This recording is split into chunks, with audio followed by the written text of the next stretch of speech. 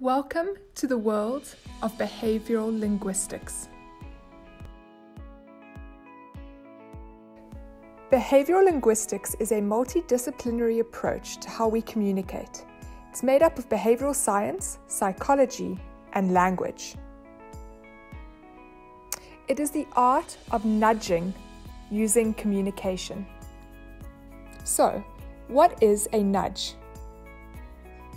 This is when you encourage someone gently towards doing something where they have freedom of choice but still make the decision you want them to anyway.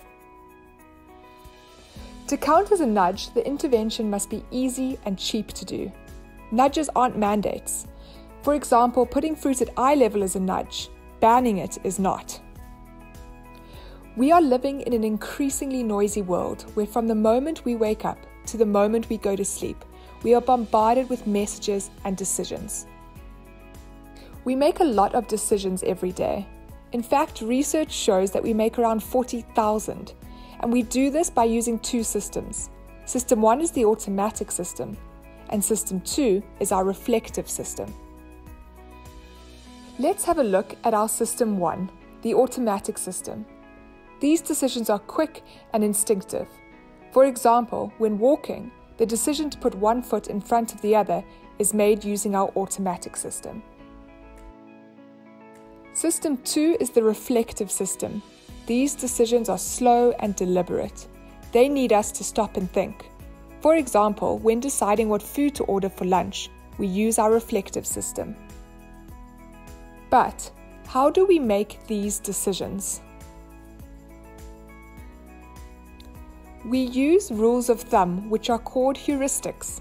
This helps us to structure information in ways that we're used to and that are easy for us to process. We rely on 188 of these mental shortcuts. There are a lot, from anchoring to loss aversion to the optimism bias. They all help us to make everyday decisions.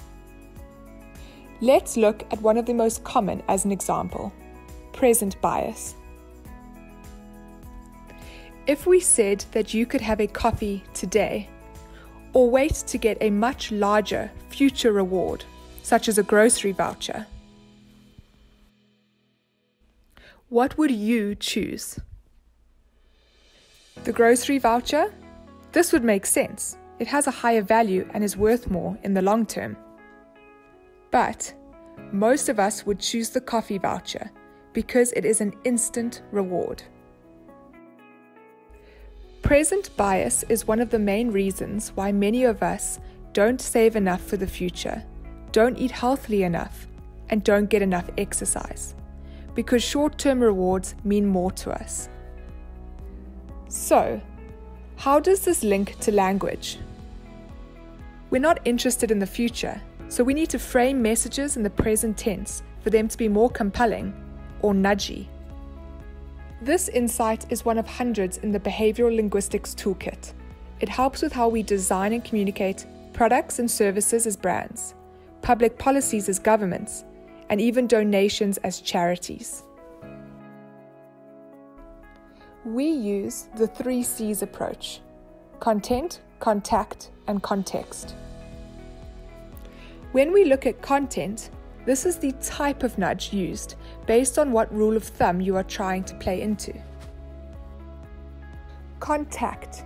Who is the audience for your communication nudge? How are you segmenting and personalizing your message to this group of people? Context. This can mean anything from the time of day you plan to communicate to the month or season that has some meaning to your communication. Behavioral linguistics is a cost effective tool that anyone can learn and everyone can use. Thank you.